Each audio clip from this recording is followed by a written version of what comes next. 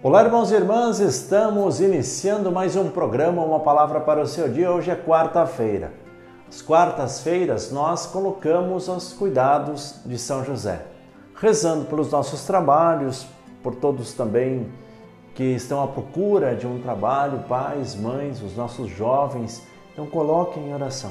Envie aqui no comentário deste vídeo no YouTube, envie o nome da pessoa que você quer rezar. Se você quer rezar pelo seu trabalho, coloque também a sua profissão. Mas lembre-se, coloque-se no lugar das pessoas. Vamos rezar uns pelos outros, afinal, somos uma família que se reúne aqui através desse canal do YouTube para rezar uns pelos outros. Este é o nosso grupo de oração pela internet. Pegue a sua Bíblia e vamos rezar juntos Hoje o Evangelho é retirado de Lucas, capítulo 7, versículos 31 ao 35. O texto diz assim: Com quem então vou comparar as pessoas desta geração?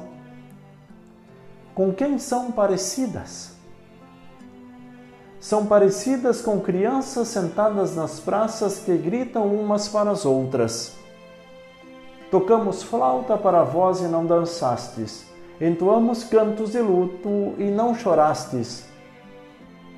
Veio João Batista, que não come nem bebe vinho, e dizeis: tem um demônio.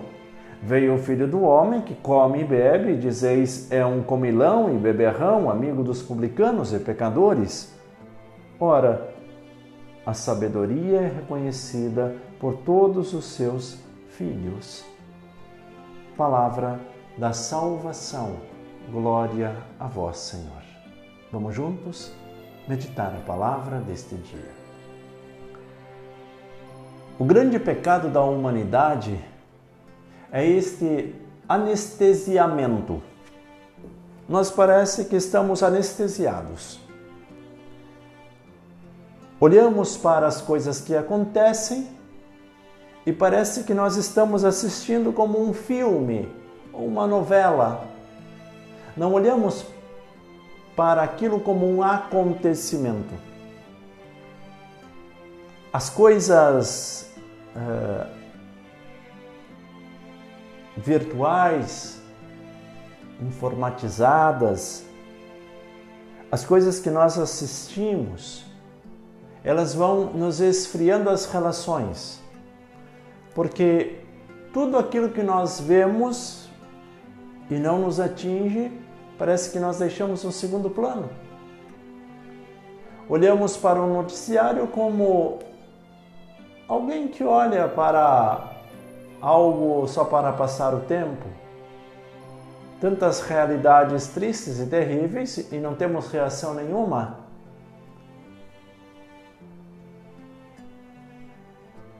O mundo, a nossa vida, as nossas relações, elas não podem ser encaradas de uma forma fria e insensível. Poderíamos dizer: Senhor Jesus, perdoai-me do pecado da insensibilidade. Quando eu não consigo me colocar no lugar da outra pessoa, quando eu não consigo me sensibilizar com a dor do outro, ou até mesmo quando eu não consigo me alegrar com a alegria do outro, com a vitória do outro, com a conquista do outro. Senhor Jesus, dai-me um coração mais sensível, para que eu possa interagir com os outros. E se você se deu conta, ao longo desta semana, Jesus, com insistência, nos está falando sobre a relação com as pessoas já começamos lá no domingo, lembra? A parábola da ovelha, da moeda e do filho perdido. Depois nós fomos caminhando. Aquela relação de Jesus com as pessoas, a relação com a viúva de Naim.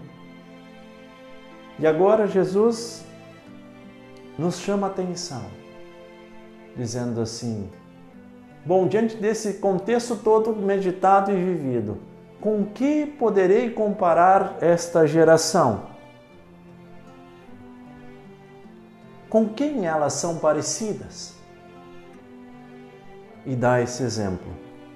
Elas são parecidas com crianças sentadas nas praças que gritam umas para as outras.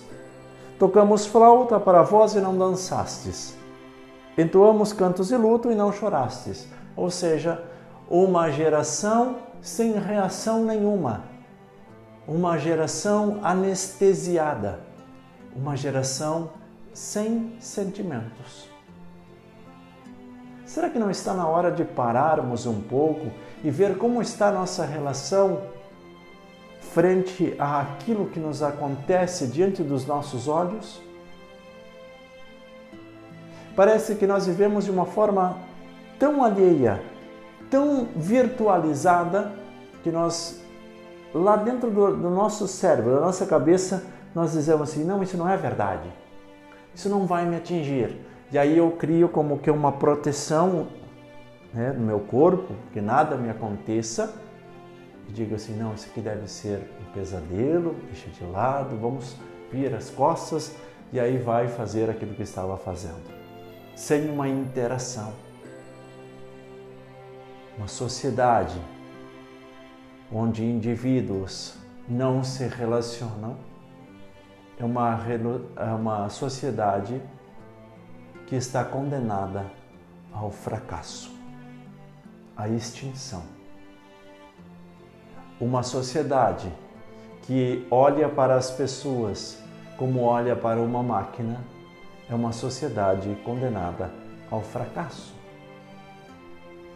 Nós só seremos diferentes e só viveremos de forma diferente quando nós tivermos um coração mais sensível e aí eu não digo só você em relação aos outros, mas eu digo num contexto geral, você que ajuda, mas a pessoa que é ajudada também com uma sensibilidade de coração. Esta relação de caridade, de afeto, essa relação harmoniosa deve partir de todos os lados. Todos nós precisamos nos olhar com mais amor com mais carinho, como filhos verdadeiros de Deus. Por isso eu convido você a compartilhar o vídeo de hoje, a palavra, o ensinamento que Jesus nos traz. Veja, o ensinamento é um ensinamento atual. É Jesus que fala para o hoje da nossa história. Não é para os antepassados, lá quase dois mil anos atrás. É para o hoje da nossa história. É para você, no contexto da sua vida. Evangelize conosco, porque evangelizar é preciso.